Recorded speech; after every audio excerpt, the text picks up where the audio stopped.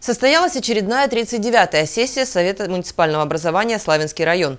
Основным вопросом повестки дня стало подведение итогов работы по отдыху, оздоровлению и занятости детей в летний период.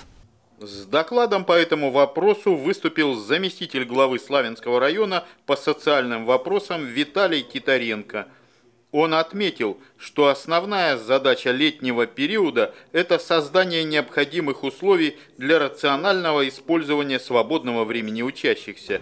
Для школ, глав поселений, для всех заинтересованных служб лето – это время серьезной работы по укреплению здоровья, интеллектуальному и физическому развитию детей. Необходимо организовать их максимальный охват чтобы они провели эти три месяца с пользой для себя. При подготовке к летнему сезону 2018 года мы себе ставили задачу обеспечить прежде всего безопасный, эффективный и интересный полезный отдых, направленный на всестороннее развитие ребенка и охватить организованными формами отдыха оздоровления максимальное количество детей, проживающих на территории Славянского района. Если говорить в целом, то э, поставленная задача выполнена, показатели, которые по отраслевому принципу формировались, э, выполнены все на 100% э, с небольшим перевыполнением.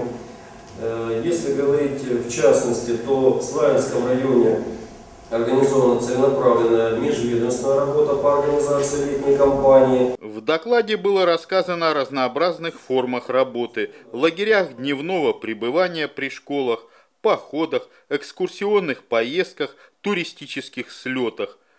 В муниципальном лагере «Ровесник» отдохнуло 450 ребят, 3915 побывало в лагерях дневного пребывания при учреждениях образования, 2100 прошли оздоровление в санаторных группах.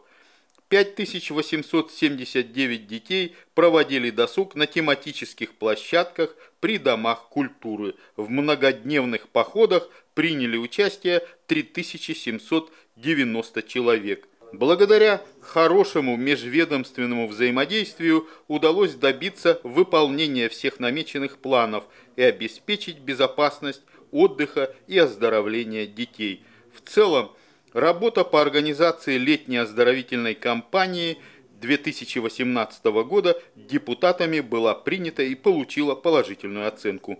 Андрей Вишневский, Георгий Калинин. Программа «События».